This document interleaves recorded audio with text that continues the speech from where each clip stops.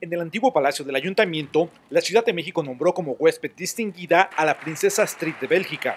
La capital del país busca fortalecer los lazos de amistad e intercambio de políticas públicas para conocer la experiencia de Bélgica para contrarrestar los efectos del cambio climático. Temas ambientales que son esencia fundamental para transformar a la Ciudad de México y en eso creo que tenemos una colaboración por delante muy grande. Sabemos que Bélgica es uno de los países que es puntero en el tema del cambio climático, fuentes renovables de energía y para la ciudad la colaboración en todos estos temas es fundamental.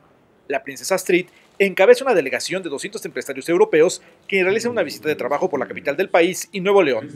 Con imágenes de Locasas, información de Francisco Gallangos, Agencia Cuadratín México.